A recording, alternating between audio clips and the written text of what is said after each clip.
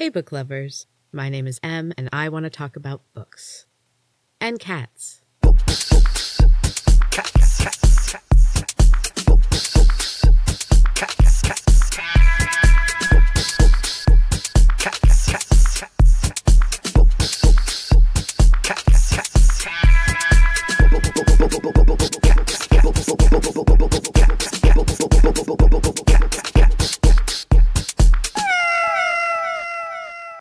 I'm back, book lovers. I had a lovely couple of days away. I love traveling. I have missed it so much. Um, I had several purposes for this trip. I was focused on rest and relaxation, as well as facing my anxiety and fears about traveling alone, and also about driving in high traffic situations. And I also planned on writing and reading a bunch. So, what did I actually accomplish? Rest. I did sort of rest. The bed at my hotel was pretty rough, and I was pretty keyed up. I have never stayed alone in a hotel. Guys, I'm 40. Um, this trip was long overdue.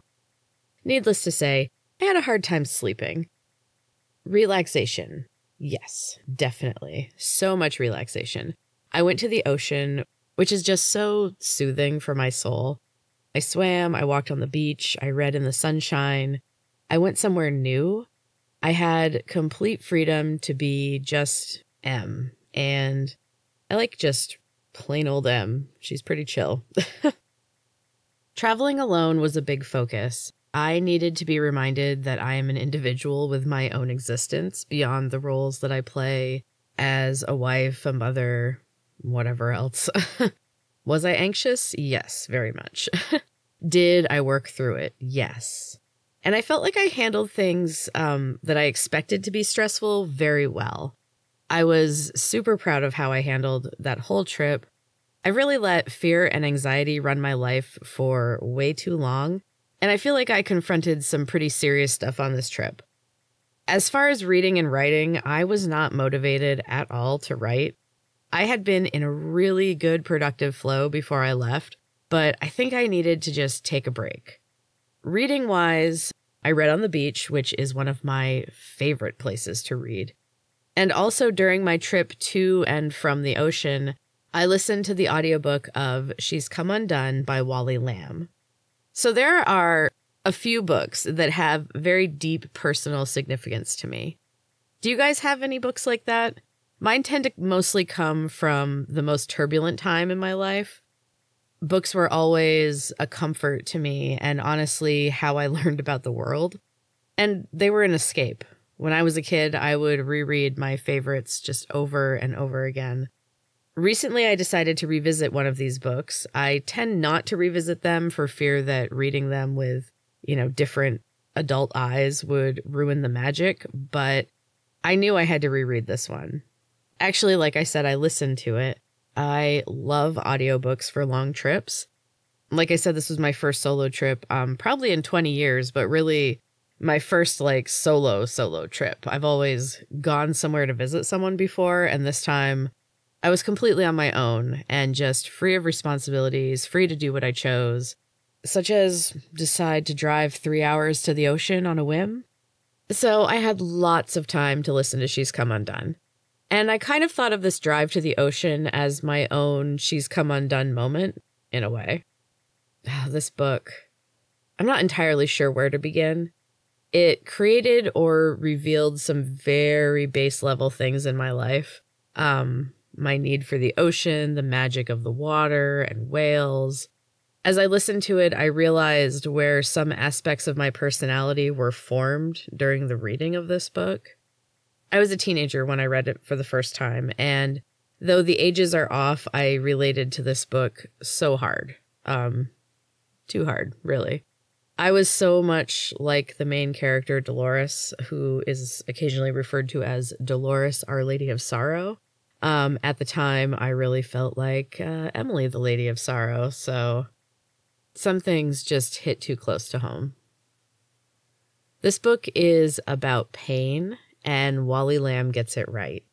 In the book, Dolores plays Billie Holiday on a jukebox, and There's a comment about Billie Holiday and how she really gets the pain right. And I think the same thing can be said for Wally Lamb. Do you have to be broken to have your heart ripped out by this book? I have no idea.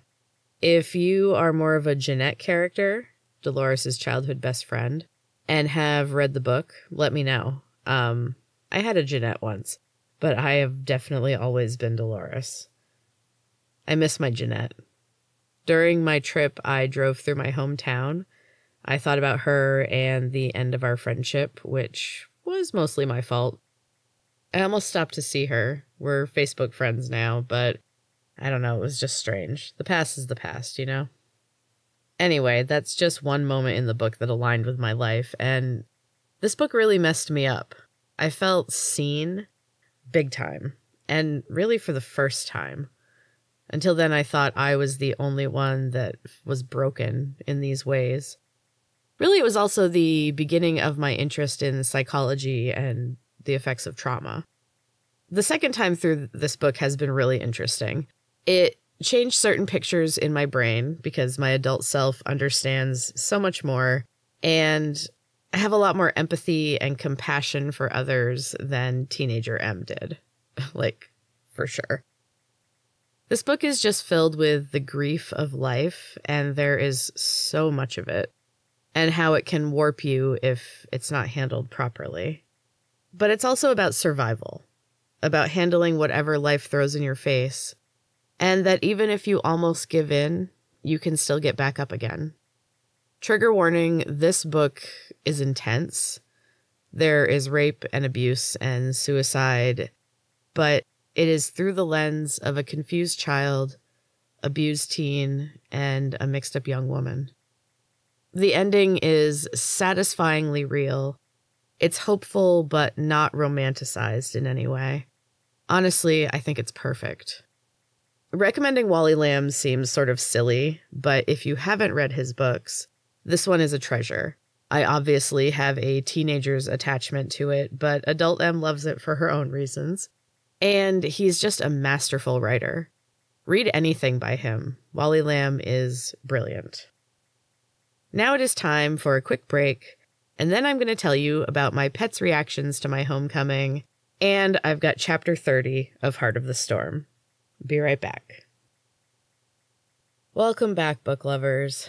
Man, I was feeling the love when I got home from my trip.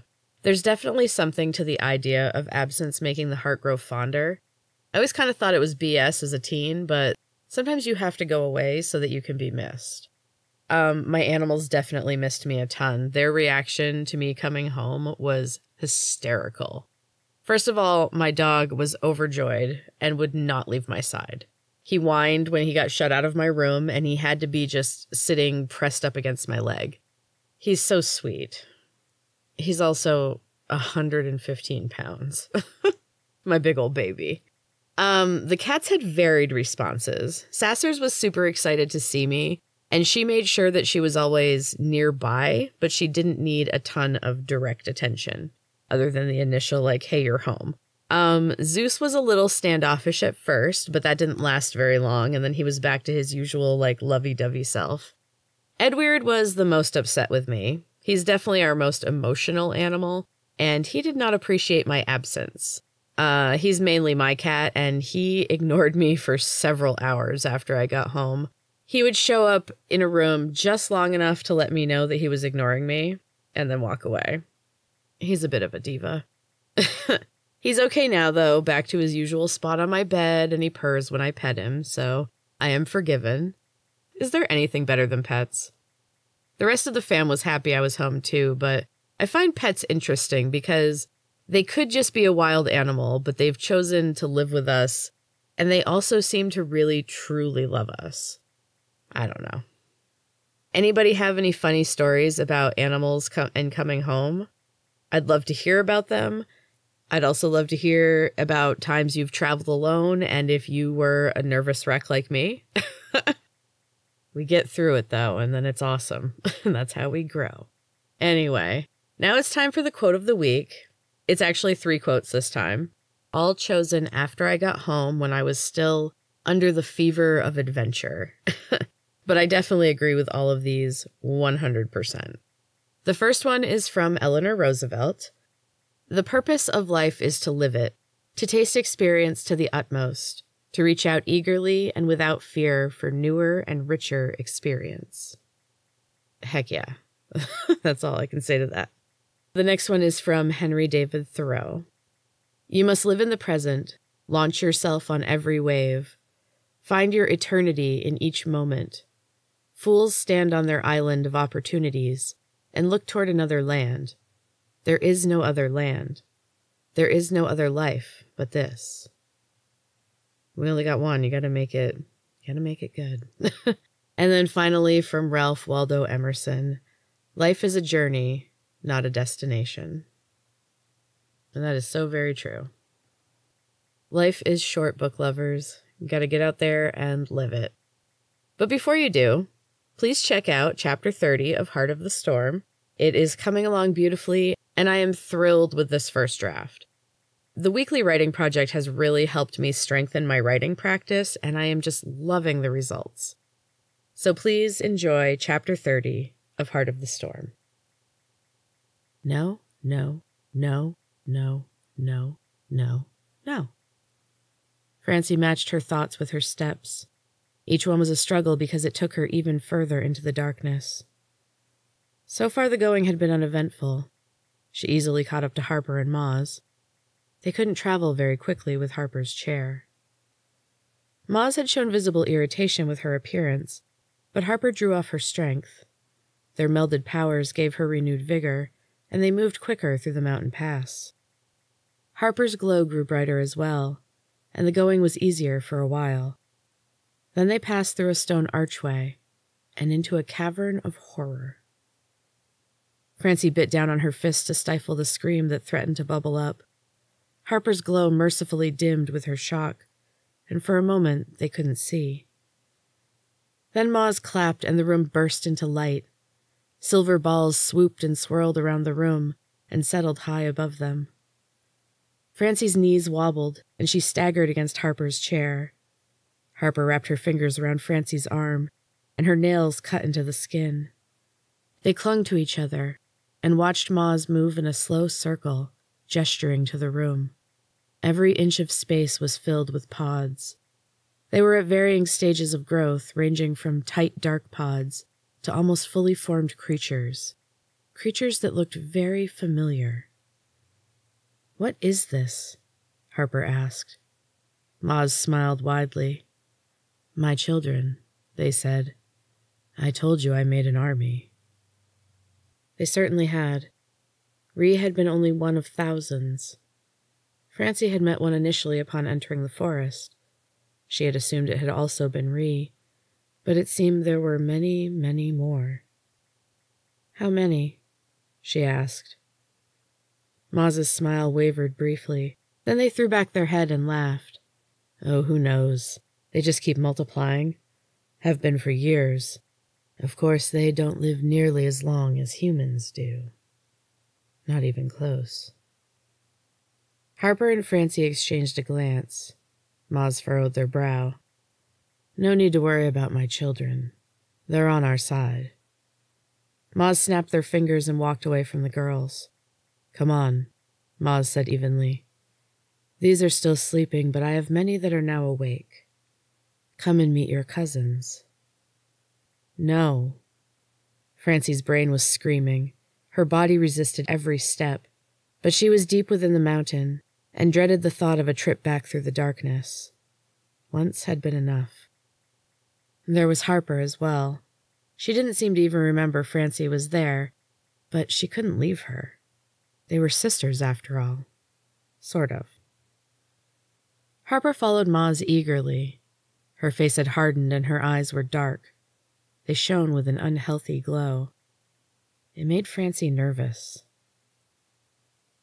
They passed through a larger tunnel.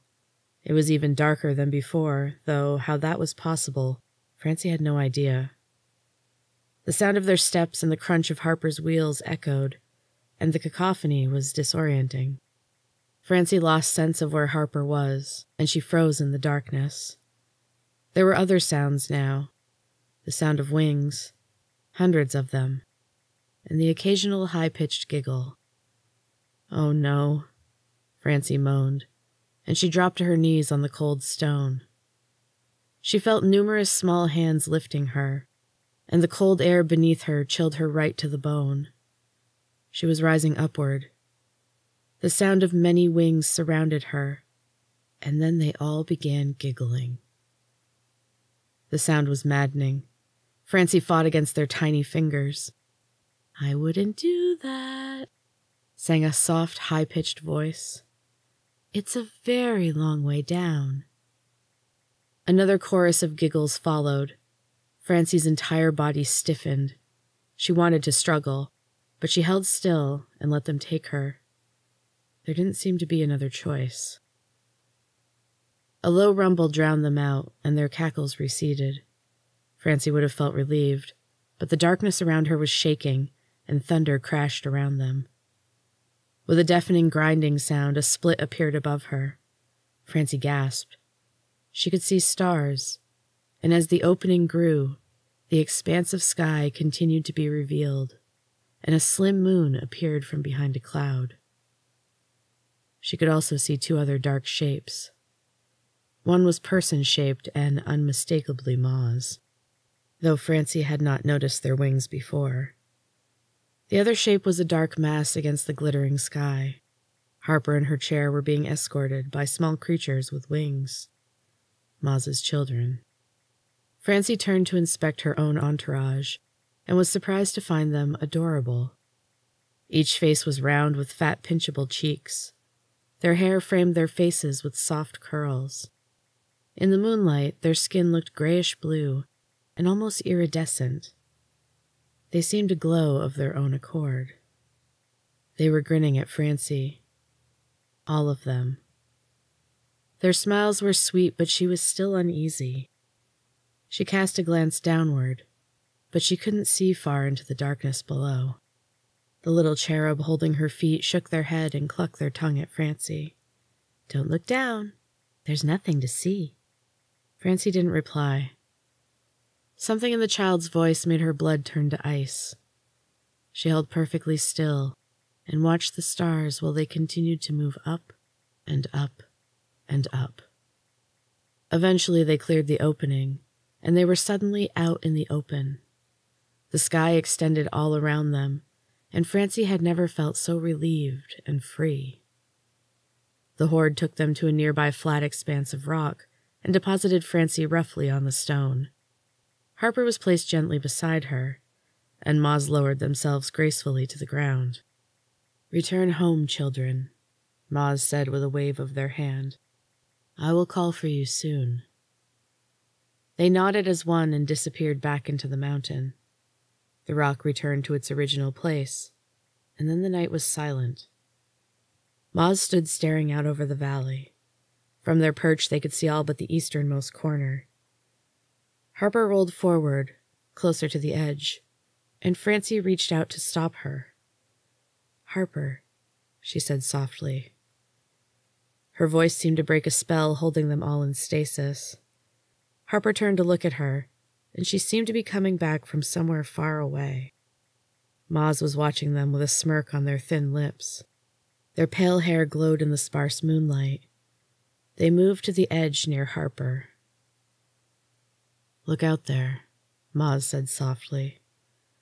All you see below us is our home.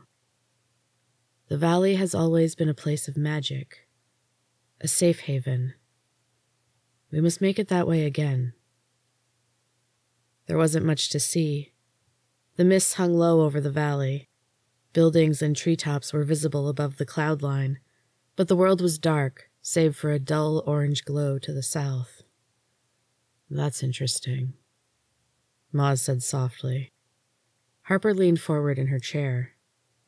That's the southern forest, she said. Indeed it is, Maz said grimly. And our allies. Looks like she has failed. Who? Francie asked. Maz grinned at her over Harper's head. Your cousin, of course. The girls stared at each other for a moment. But, Harper said slowly, That's too many. Maz stepped back from the edge and laughed bitterly. No family is simple, they said, and our bloodline is a complicated one. Francie rolled her eyes. Someone had more than one kid. Maz looked annoyed. Yes, Lazalt has a twin sister. Lottie chose to keep him and asked me to dispose of the other. I think she hoped that having a son would somehow taint the magic. She had some reservations. Lottie was always worried about something. Harper's face was blank. She sat perfectly still with her hands clasped in her lap. Francie noticed the wooden rigidity had moved up into the base of Harper's spine. Her face was pained and disturbingly pale. How did you dispose of the child? Francie asked. Her voice was hard, and she and Maz locked eyes. That's no concern of yours. I just did as Lottie wished. She had reservations about that eventually as well. She claimed she found the girl. Said she had agreed to help. I assumed she was working in the southern forest. By the look of it, she failed. The smug smile on Maz's face made Francie want to smack them. She was bubbling with rage, but she tried to control it. Maz was their way off this barren mountain top. She would not let her anger doom both her and Harper. What exactly is the plan? Francie asked. I'm not clear on what we're doing or why we're here. Harper finally snapped back to reality. They need our magic, right? She asked Maz. To finish what you and the others failed to do. Maz rolled their eyes. You're as impossible as your mother. But yes, we do need you. Thea does as well, but for different purposes. And why are we helping you over my mother? There was a long, low howl from the valley. It traveled up to them on the wind, and Francie shivered. She told herself it was from the cold. Because I'm not the one who wants you dead. And that is the end of chapter 30, book lovers. I hope you're still enjoying Heart of the Storm. Make sure to check out booksandcatspod.com for all things books and cats. Send me your book recommendations and funny cat stories. I would love to hear them. And thank you so much for listening. Until next time, keep reading.